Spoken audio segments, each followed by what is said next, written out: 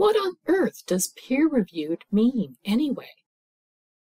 As a Georgian College student, you have access to many academic and scholarly journals. The articles published in these journals can be excellent resources for research assignments. Journals can be in a paper format or accessible in electronic databases, such as Page One Plus or Science Direct. Academic or scholarly journals focus on publishing articles in a specific field of study.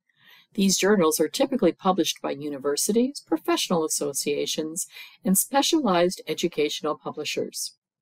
Often, the title of the publication describes its content. For example, the journal Cyberpsychology, Behavior, and Social Networking publishes articles discussing social networks, gaming, mobile device use, and related behaviors. The academic and scholarly articles published in these journals tend to focus on narrow topics.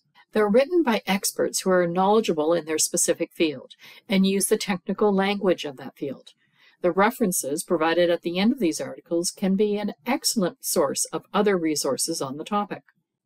Scholarly articles are different from other academic articles because they are peer reviewed. Peer reviewed means that the article has been submitted to the scholarly journal for review by its panel of experts in the field for accuracy, credibility, and reliability prior to being published. Revisions to the article may be required before it will be accepted for publication. This process ensures that scholarly peer-reviewed articles are very reliable sources of information. Examples are original research articles, case studies, and review articles. It's important to note that not every article published in a scholarly journal is peer-reviewed.